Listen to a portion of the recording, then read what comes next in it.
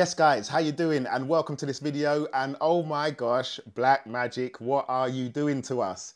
So, I am guess you all know now that they've brought out the new camera, the 6K G2, and the new software as well. And DaVinci Resolve is getting a new update as well. I think it's on the beta 4 now, and we should have a, a, a lot of new features in that too. Well, one new feature, which I want to talk about, but we'll talk about that later. So first things first, let's get into the camera. And I know you're all disappointed because I've looked at the Blackmagic group and everyone's moaning about it. But these people, they do not understand how the business world works. So let me explain it quickly, just so you know why Blackmagic brought out this camera, this 6K G2. Now, this isn't any inf inside information. I'm just going by my days in business and doing business to business and why I think they did this, okay? So, Blackmagic have three cameras in the pocket range. We've got the 4K, the 6K, the 6K Pro. The 4K and the 6K, they're pretty old now, okay? But the 4K uses different lenses. It's got different style than what we're talking about on the 6K Pro. Okay, it's completely different camera almost. But then when you look at the 6K, it's kind of this odd cousin, this middle child that no longer really serves a purpose. Now, don't get me wrong, it's still an amazing camera. You're still going to get the same great footage you've been getting for the last couple years. It's absolutely amazing. But to have three different production lines going for the Pocket series doesn't make any sense. Now, you've got to think now that the world is in quite a bad state. We're in a, a bad economic state. Everything is going up, prices are rising, petrol, food, everything else. As a company, Blackmagic need to strategize now and to streamline their process and obviously keep profits coming in. So you can't get rid of the 4K because it's still doing its bits and people still want that camera.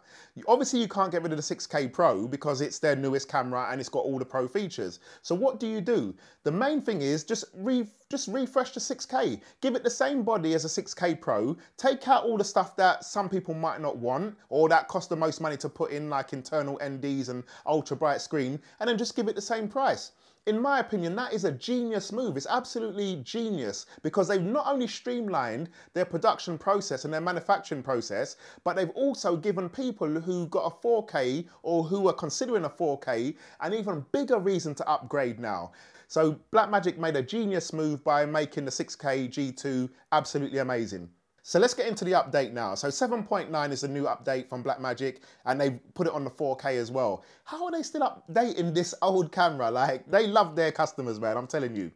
So let's get into this. So 7.9, so we've got the new revamp menu and things have been changed around a little bit and yeah, just different text and, uh, and a few other bits and pieces. So the first thing I want to obviously show you is obviously when you look at the text, you can see that it's slightly different than what we had before. It looks a bit smaller to me for some reason. I don't know why, but it looks really nice. I think it looks clean now. Going over to the record page, everything looks quite nice and you can see everything as it was before. But I think everything is just laid out so much better, so much easier to find. I mean, for one thing, I remember when I first got the camera and turning on focus peaking was actually quite hard to find it and then to use it. But with this one now, it's so much easier. Everything is just put on the, the same page, so much easier to do. And I love the new focus peak peaking algorithm that you can change it to like 100 so it's really high. It kind of reminds me of the Portkeys LH5P when you could get real precise focus movements and you can see that right there. And when you roll the um, your lens to focus, it rolls nicely. So much better having it at 100% because you know exactly when you're in focus. Absolutely amazing. So if we turn that off now, another feature that I really like is if I hit the play button and we've got all of our clips here, now you can't really see this, but there's little lines in between these clips. So I've got one, two, three, four clips here, I think. If I press the back key, you can see it flicking. Now before it would actually change page. And sometimes when you're playing and you want to skip back, it, sometimes it was a bit annoying. But now it's crazy that they've just marked it out and it's just there. So you can even just skip through to all the clips on your on your storage and it's absolutely amazing in my opinion. I love that feature. But the biggest feature I want to talk about is the gyro. So Blackmagic have activated the gyro in the camera. Now for you that don't understand what this means, there's a lot of devices in the world, not just cameras, but a lot of devices that rely on a gyroscope to stay straight, to stay level. Now, this is an amazing thing to have in a camera. But if you're familiar with Sony and their Catalyst browse, so not only have you got image stabilization in your camera, but then all of the movement and the up, down, shaky movement eh, has been recorded and embedded into the video file.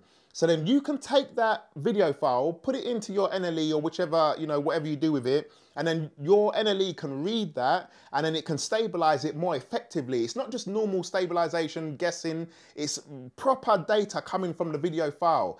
This means you will get some Hollywood level gimbal shots when you're moving, tracking, car tracking. It's gonna be absolutely amazing. For handheld uh, video, it's gonna be amazing as well. And if you're walking and tracking someone, it will do a reasonable job, but I don't know how well that's gonna work out. I'm just interested in using it on a gimbal and seeing how it works out. But I'm so happy that they've done it to this camera. There's so much more we could talk about in this uh, in this menu system here. Like I like the way when you've got the menu button up there now in the corner, so you don't have to press any button up the up on the uh, on the actual physical buttons, which is nice. It's just a nice overhaul, like, and for the P4K for them to do that, it's really, really good all of your memories down the bottom here now. So if you've got different memory inside your cameras, like an SD card and a CFast card and then a, uh, I don't know, an SSD on the side, you can flick between them just by pressing on them and using that, you know, particular piece of storage. Absolutely amazing. I really love it.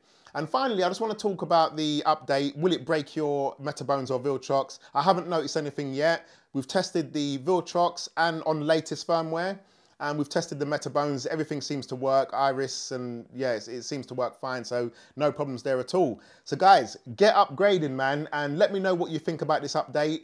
Do you think the Pocket 6K G2 is a bust? I don't personally think it is. I think it's amazing from a business perspective. But take care, guys, and I'll see you on the next one later.